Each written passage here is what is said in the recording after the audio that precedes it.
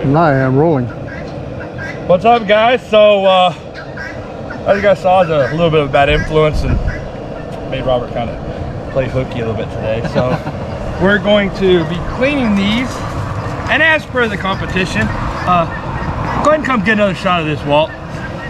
Can't help. Hold on. Uh, no, uh, uh, uh, uh, no, no. Let's so, make this, so let's, make this accurate. to make this about right, uh, no, not like so. Robert's fish, or uh, Uh, we'll, we'll, we'll go. We'll give him an extra one, and Aaron's fish. hey, I did catch three more while you were gone. There we go. so loser gets to scale the fish. Yep. But while he's doing that, I'm gonna be getting potatoes started. I got my handy dandy cool little laydown set. Pretty awesome. I don't use it. I don't use it enough, unfortunately, Yeah. But it's nice to have when I do use it. Don't throw pliers in your truck. The first thing that we're going to do with these panfish, there it's a combination of perch and um, bluegill. Is that what you And call it? crappie. And crappie. Yep. Uh, everybody, a lot of them are the same thing. You know, just regionally very Yeah. different names depending on, on where you come different from. Sunfish or brim. Right. You know, right. yeah. Yep. Do this right here. Make sure and get around all your all the what you call them the fins. A lot of times we were in a little creek today, uh, and a lot of times I like to fillet my bluegill. These are a little bit small, so we're just gonna go ahead and fry them whole. So first thing to do, and reason I'll find these scissors, you go ahead and cut off. Now, quick question here. Uh, it is very regional as well, or personal preference. Do you do the fin chips? Do you eat them after they're fried? Yeah, like the tails. All right, well, we'll leave the tails on. I generally like to cut the tails off. That's the best part. You know, I, I don't know. I, I just never got a taste for it. You'd, you'd think I would. As much as I fish, as much as I fish and everything, uh, shark bite. Yeah. So, I'm gonna get started on potatoes. And Robert is gonna do what I'm doing right here. And get all, well, I'm gonna be, I'm gonna be stuffed. I'm gonna have puppy belly. Robert's gonna have a snack. I'll right. share, I'll share. Okay, oh, good deal. Nah, it was it was luck of the draw. I, I I did cheat a little bit, even though there were no rules established, uh, and grabbed a hold of some worms. Well, not did- only the worms, but you were also sitting right on top of the honey hole. yeah, I found the I found the hole. And every time I go to put a worm on or something, because I brought two spinning rods, and then he's like, "Oh, I'm, you know, we're catching for dinner, so you use whatever is, Yeah. is working." He went and got a spinning rod I brought, and he put worms on. But every time I would go to put a worm on, he'd sneak over my hole. Yeah, I'd be like, "Really, really, get out of my hole." That's how I caught my four fish, man. It was a good hole too. Yeah, it was. Like I like literally every single cast. Boom, Every boom, single boom. cast. All right, so we got him that far, so he'll get them scaled. Yep. We'll get the water hose over here. After we get them scaled, we'll go over cleaning them. From that, I'm gonna get started on the potatoes. You can throw clean ones in there. So we're gonna do, what kind of seasoning we get? Some kind of Cajun. We got some fish fry, New Orleans style, looks good to me. Fish fry breading mix, perfect. And so we're gonna do some Cajun style fish fry. and We're gonna do some fried potatoes and fried onions and some garlic. And uh, just like with the beer brats, man, everything tastes better outside, over a fire. Uh, yeah, it, it, no comparison. Dang it. I forgot to tell you to get eggs. Oh, yeah. You know what? I might be able to help you out. Hold on just one second.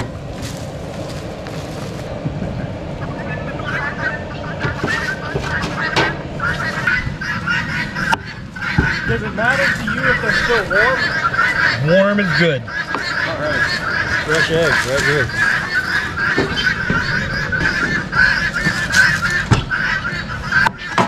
Uh, one thing we will need here in a second.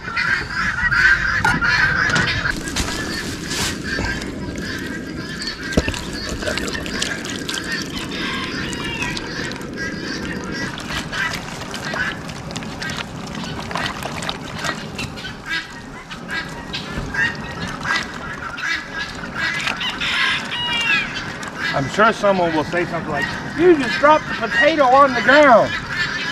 Well, it's not cooked yet, and I'm pretty sure it just came out of the ground. Well, that's where it came from. I know. Like, oh my goodness, the food hit the ground.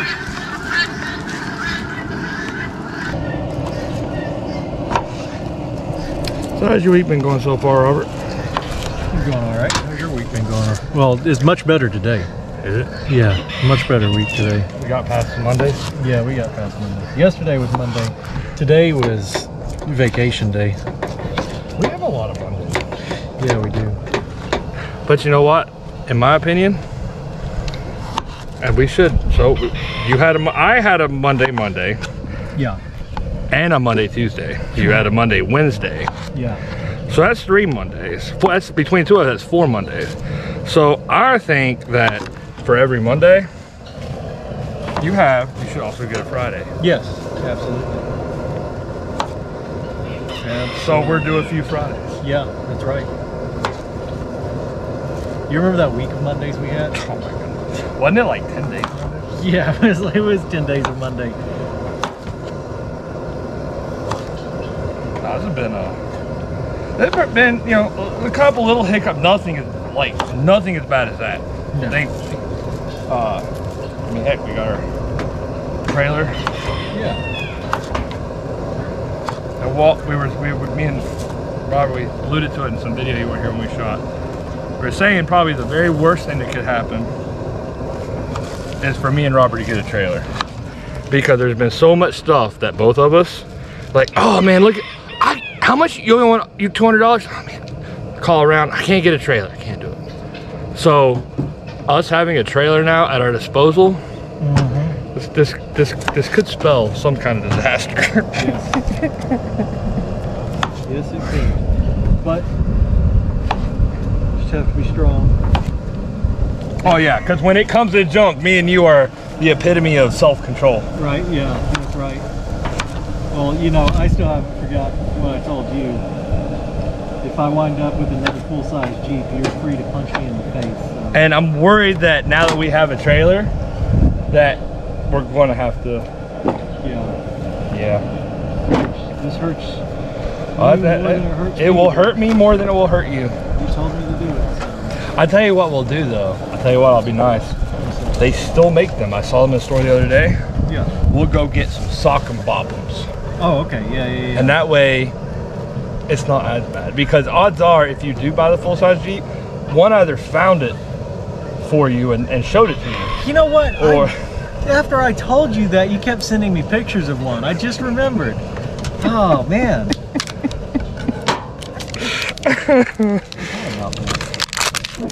All right, we got our potatoes cut up, and while we get the fire made and get them ready, one things I wanted to. That's really sharp. I'm not going to do that. This is kind of a key to fried potatoes, especially like home home fries. Know, you're like, oh my god, you're to kill yourself. No, this salt isn't. It doesn't stay in there the whole time you cook.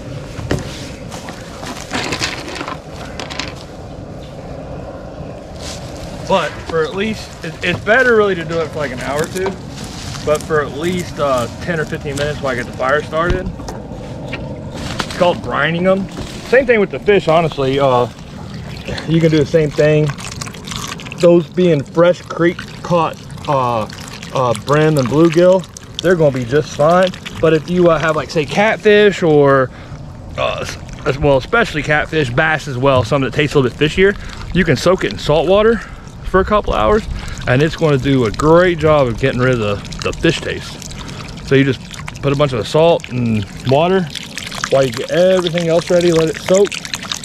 We're going to do the same thing with these potatoes here. Let them soak in some salt water for a few minutes.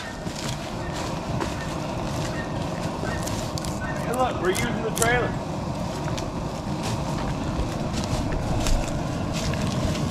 And the hunt camp giveth again with the sink.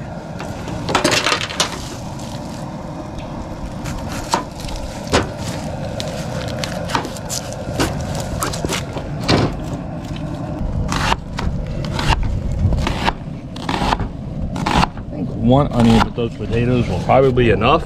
Yeah. So I'm gonna use two. Okay. Perfect. Onions are kind of like garlic. The only bad thing that can happen is you don't use enough. Yeah. There's not really any such thing as too much onion or garlic. You ever uh you ever eat raw onion fried fish? Just have a little bit of raw onion on the side, bite of fish, take a I bite of raw onion with about everything. Why I figured we use one to cut up. Yeah. And while we're at it, I'm gonna go ahead and show you guys a way to start a campfire. It's pretty foolproof. You know, if you're out in the woods, a flamethrower? you need to start a campfire and uh, you know, you might be having issues. I- I'm sure somebody thought I was about to show some really cool, really cool primitive way to start a fire. Yes, I can, why would I when I've got my MAPP Gas torch? We're just going to jump start this bad boy.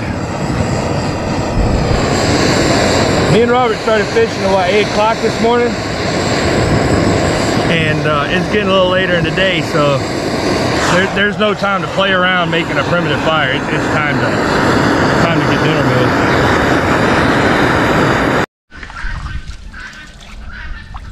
All right, so I'm gonna show Robert here, and he already knows, but I'm gonna show him my way of cleaning a small fish when we're going to do a uh, fry the whole fish. You know, if you are lucky enough to have a big lake where you've got big old massive crappie, you're, you're lucky. But if you're down here, just rivers and streams, like these are, most of these are actually pretty decent size. So to clean one of these, we've already scaled them. You're gonna find the vent right there. Now be careful, make sure and use a nice sharp fillet knife, but don't cut yourself. Uh, I know people be like, oh, you should use gloves. Well, nah, then you gotta throw away expensive pair of Kevlar gloves every time you do it because you cannot clean them. So, we're just gonna split it open. I like to split it open and then what I'm gonna do is I'm gonna take take the knife and just kind of pop down a little bit right there on these those two bones on the gill. Take his head. Some people like to cut the head off. I don't see any point. I'm just going to take the head, pull the head off. All right. Now all this stuff in here is stuff that you definitely don't want eating or in your oil. And this is one of the probably more important and more pain in the butt parts of um, cleaning a fish. Because that rib cage you got right there, that's got the main artery for the fish. It's called the bloodline. And you can hear it hitting on those the knife hitting on those ribs. So I want to make sure and get all my insides out. Come in here and scrape all that bloodline out. Any of the bright red. And then when we rinse it, we'll double check it. Well, that's looking pretty good since we're going to be frying these whole. Put them on a plate and then we'll rinse them again really, really good with fresh water. And then we'll show you how to batter them and fry.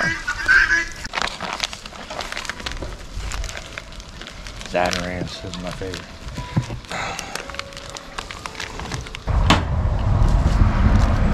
All right, so we're making our breading.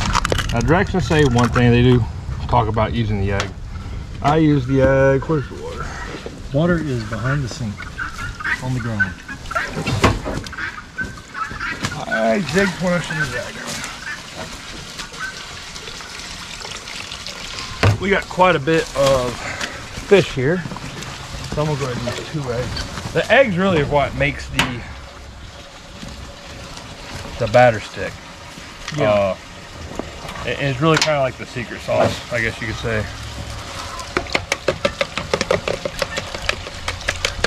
But you've got to one of the one of the keys with the eggs, you've got to whip the crap out of them. You've got to get that um, froth.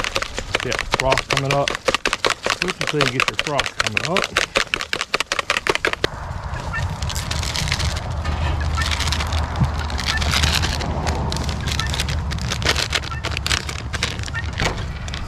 Zatarain's has always been one of my favorites. It's just a good Cajun, Cajun seasoning. Kind of a trusty go-to. And just because we have quite a few, I'm just going to put a little bit of these other. Make sure we have more than enough here. Do you need me for a moment? Here. I'll be right back. I forgot something very important. Uh-huh. It goes with fish bowl. I gotta run to the store. This is one of my secret ingredients that goes with the Zatarain. Sorry, I whipped the eggs a little bit.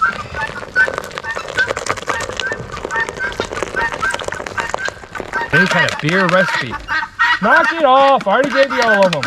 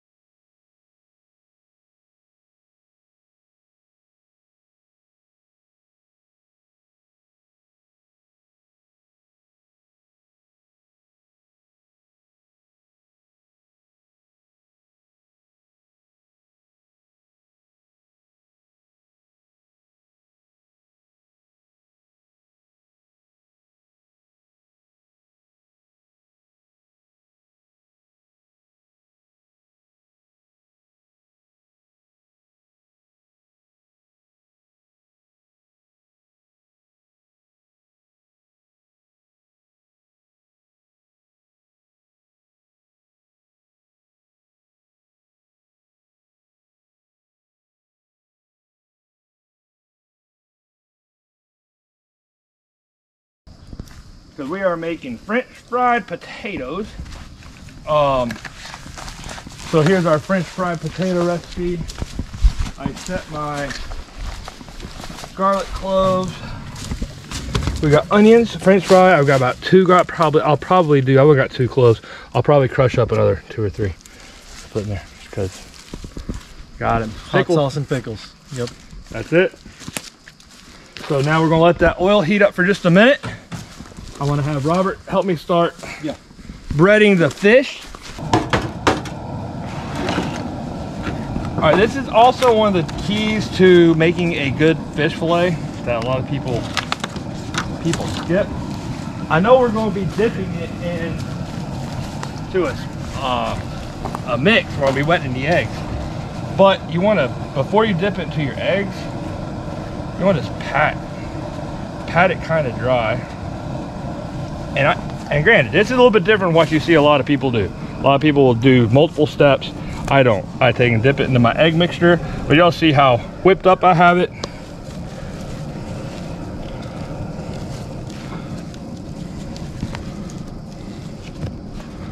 This is actually one of my favorite parts of cooking fish is the breading. Maybe it's because it's that much closer to actually eating it, It than is. it is, you know? Yeah. It's like the final step. And I will come over here and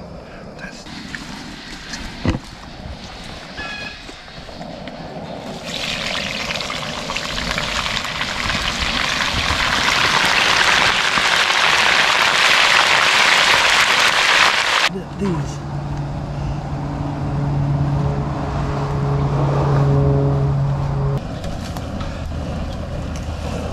All right, everybody, so we're about to drop our fish. Now, whatever you do, uh, I've seen people say like, oh, you just use water to test. You don't use a cup of water, right? You put just, get your hands a little bit wet. And if it does that, it bubbles up, the oil's hot. So you only want your uh, oil around 350, no hotter than 375. 350, 360 is perfect. All right. If I don't trip and fall and die, Watch your step. yeah, you got it. You got me. All right. And you're going to want, it's actually not really hard to tell when something's finished. What you're going to do, one more other quick tip. don't put your fish or anything you're frying into the basket and then lower the basket in because it's going to take the breading off. So we're just going to drop these in. Also, don't overload your basket because you will cool your oil off. And one of the worst things that can happen is cooling your oil off. So as big as these are, I'm gonna say four tops probably. There we go. That worked out. There you go. That- uh, I meant to do that, by the way. Uh, Robert's going to man the fryer. I'm going to grab some more paper towels. But you're going to know when this is done because it's going to float up to the top. Yep. Uh, okay, so things are now inside the center time and they're Oh yeah, why that won't went to the do pin. that like when it's time? What? They all just went into went into you know. Must have seen something over there that freaked them out. No, they were just looking up the road. They've never been that far back, and they were behind the truck going in there, and it's new unexplored land, which is therefore scary, and they have to scream about it.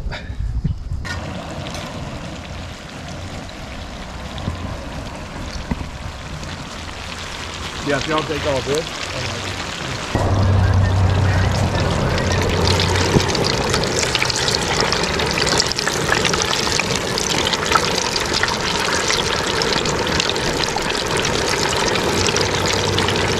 There's also some hitting the top water. This, this is the part that sucks when it's so close to being done. You still got just a little bit more. to cook.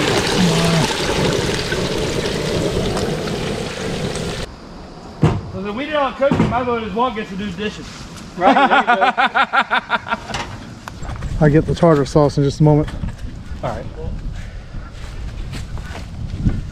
I'm gonna shoot y'all's taste test. All right. For me, they have I can't. I can't help. I've got to say. I, I've got to say it, Robert. I can't help it. It's kind of mean, but it's a good thing we weren't waiting on you to catch the fish today. somebody wasn't hogging the honey hole. I could have caught some darn fish. Oh yeah. I don't know what you had on your. Uh... Now that Oh yeah. that is. That's a hard day's. You know, Night. hard day's work. That's a day. Delicious. Delicious. That is a great way to put it. Grab these two right here. I'll wait on you to grab your plate. So More. I thought that was one stuck together. Uh, you can tell also that's one way you can tell when your fish, a whole fish is getting done. It splits apart like that. Oh, hold on. See right there?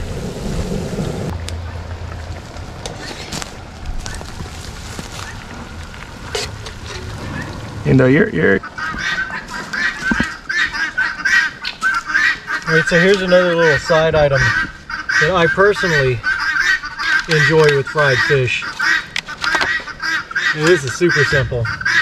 We're just gonna slice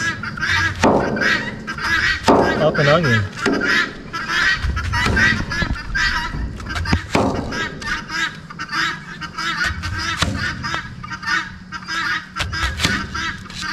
All right.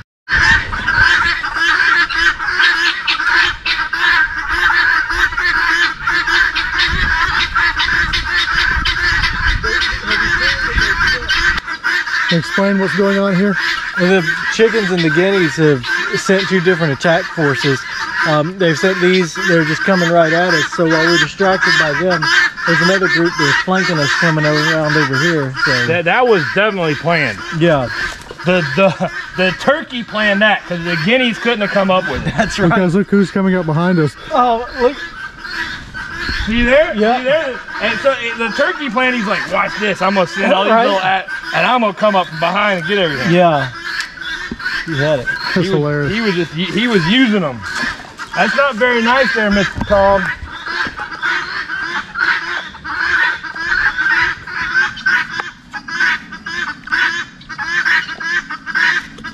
Now that looks as close to perfect as anything I can think about. It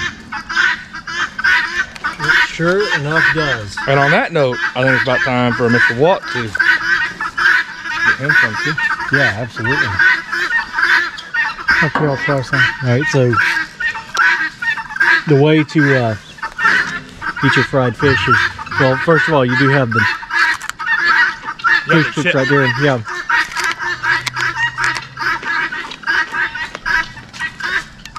And you just come in and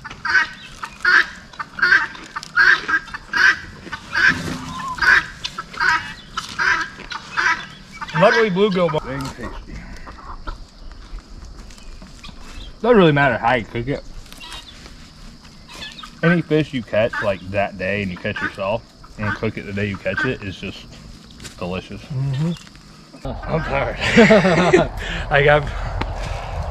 Why don't we have any hammocks up around here? actually, they- never mind, never mind. That's my hammock. Oh. never mind. Why don't we have two hammocks up around here? Yeah. Alright guys, hope you enjoyed that. Just a fun day to do a little bit of fishing and how to do a fish fry and mm-hmm. just uh, a day not working around the homestead or the Yeah, farm. that's right. This is a good day. Sometimes you need a day just not working. Right. And this was this was a good day. Yeah. This was a good day. It was fun.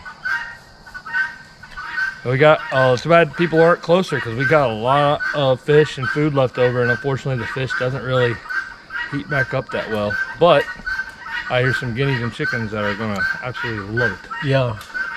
They will. They will too. We um yeah, for the as small as the fish were, they were very filling. There was a lot. I'm. I am stuffed, and we have a lot left. I was worried, even though we had, I think we had ended up like 20 or something like that. Yeah. And you know, little, you know, five, six inch. I'm like, man, that's not gonna be enough. But I'm, yeah, I'm stuffed. I think I might be able to eat one more just because it's that good. Mhm. But I'm stuffed. I shouldn't, but I think I'm going to. So to follow up tomorrow on how Robert's feeling after eating that last fish. right? Well, you know, those fish are so good I couldn't stop at one either, so then it's They were you know, good. two. Yeah. All right, guys. Well, hope you enjoyed. Make sure and uh, share, like, and subscribe to the channel, uh, Best Family Homestead, and watch your step. And we'll see you guys on the next video. See you next time. We're, we weren't in the same shirt. Almost, huh? Oh, well, How embarrassing. I gotta go change now. Twinsies. I just noticed that.